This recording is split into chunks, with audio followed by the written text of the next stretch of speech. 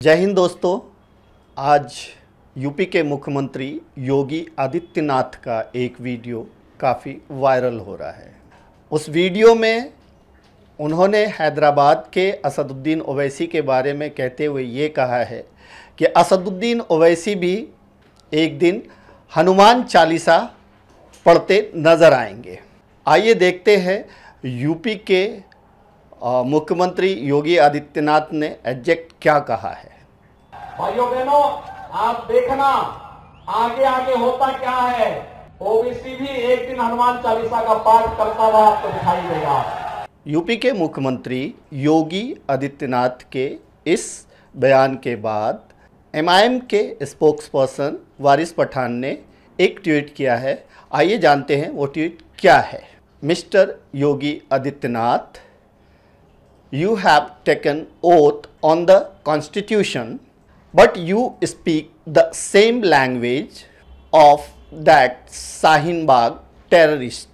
Bharat में जितना तुम्हें हनुमान चालीसा पढ़ने का हक है, उतना ही असदुद्दीन ओवैसी को कुरान और नमाज़ पढ़ने का हक भारत का संविधान देता है। आप आप इस बात पे अगर गौर करेंगे कि हमारे देश यानी हिंदुस्तान यानी भारत की जो राजनीति शुरू होती है, वो कहीं ना कहीं धर्म को लेकर के ही राजनीति शुरू होती है और धर्म पे ही ख़त्म होती है।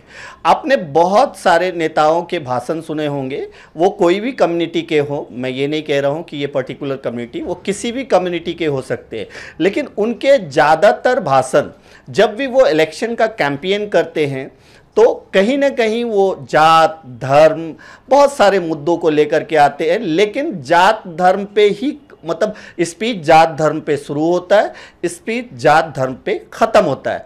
आपने ये कभी नहीं देखा होगा कि जो चुनावी मुद्दा होता है, यानी चुनाव जब, चुनाव देश में जब चुनाव हो रहा होता है तो आपने ये शायद ही देखा होगा कि विकास की बात हो रही है, यानी विकास के मुद्दे पे आपस में एक दूसरे पे टीका टिप्पणी हो रही है। ऐसा नहीं है। विकास के मुद्दे पे टीका टिप्पणी कम होती है।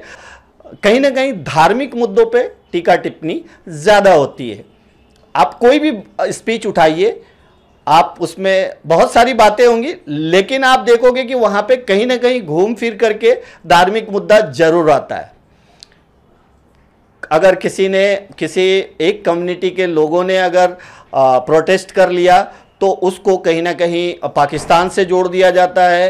कहीं ना कहीं जो है आपका आतंकवादी, टेररिस्ट इस तरह का जो है, उसको खिताब दे दिया जाता है। दूसरी कम्युनिटी के लोग अगर करते हैं तो कहीं ना कहीं उसको संघ का आदमी कह दिया जाता है कट्टरवादी कह दिया जाता है, हिंदुत्व कह दिया जाता है। यानी कि कहीं ना कहीं देश में अगर आपको देखने को मिलेगा तो सिर्फ़ और सिर्फ़ हिंदू, मुस्लिम, सिख, ईसाई और इसमें सबसे ज़्यादा जो अगर आपको देखने को मिलेगा डिबेट, वो हिंदू और मुस्लिम में। हिंदू कुछ बोल देता है, मुस्लिम कुछ बोल देता है। किसी को ये पता नहीं कि ये सब बोल करके, ये सब करके वो आखिर साबित क्या करना चाहते हर धर्म बहुत ही अच्छा होता है। हर धर्म में अच्छी बातें लिखी हुई होती है।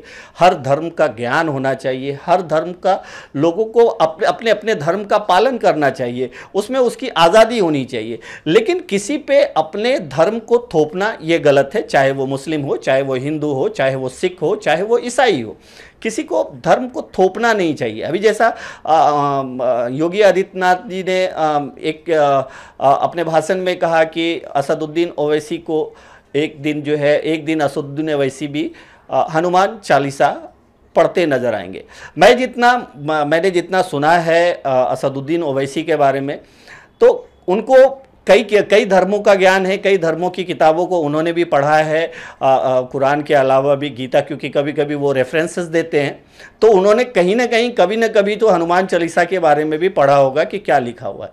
लेकिन किसी पे अगर आप फोर्सफुल्ली अगर ये कहोगे तो वो एक विवादित बयान हो जाता है। यानी कि अगर मैं अपनी मर्ज़ी से गीता पढ़ूँ कुरान पढ़ूँ हनुमान चालीसा पढ़ाऊँ पढ़ूँ तो ठीक है। लेकिन अगर कोई मुझे ये कहे कि नहीं तुमको गीता पढ़ना पढ़ना ही पड़ेगा तुमको अ, कोई कोई ये कहे कि कुरान पढ़ना ही पड़ेगा बाइबल पढ़ना ही पड़ेगा या फिर हनुमान चालीसा पढ़ना ही पड़ेगा या फिर और भी कोई श्लोक है जो पढ़ना ही पड़ेगा तब वहाँ पे अ, कहीं ना कहीं इंसान का ईगो हर्ट होता है और यहाँ से ही विवाद शुरू होता है। तो ज़्यादातर विवाद दोस्तों ऐसे ही शुरू होता है जिस तरह से देखिए अभी एक उन्होंने बोल दिया।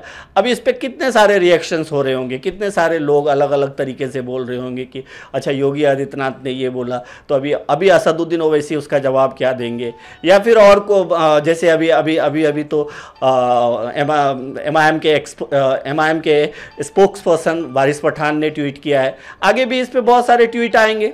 तो कहीं ना कहीं दोस्तों कहने का मतलब ये है कि हमारे देश की जो स्थिति है हमारे देश में जो राजनीति शुरू होती है आ, वो सिर्फ़ और सिर्फ़ धर्म के मुद्दों को लेकर के।